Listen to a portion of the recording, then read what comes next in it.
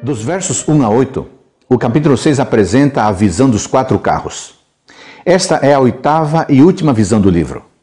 Não temos informações detalhadas quanto ao significado da visão, mas podemos perceber que trata da soberania de Deus sobre todos os demais poderes. Esta soberania fica claramente demonstrada à medida que o mal é derrotado por Deus. Amigos, na Bíblia, a terra do norte, mencionada aqui no verso 8, representa a fonte de dificuldade para o povo de Deus. Assim, se o Espírito encontrou repouso no norte, como diz o texto, isso indica que os opositores de Deus haviam sido totalmente derrotados. Isso mostra, mais uma vez, o poder e a soberania do nosso Senhor. Dos versos 9 a 15, a coroação de Josué prefigura o templo e o reino do Messias, o renovo.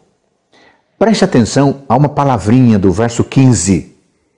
Isto sucederá se diligentemente ouvirdes a voz do Senhor, vosso Deus.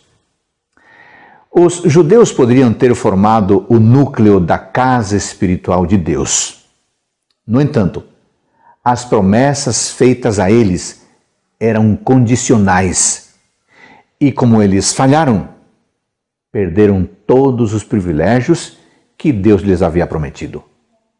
Mas a boa nova é esta: a despeito da falha humana, os propósitos da vontade de Deus avançarão, avançarão continuamente e serão realizados por meio daqueles que em cada nação constituem a sua casa espiritual hoje.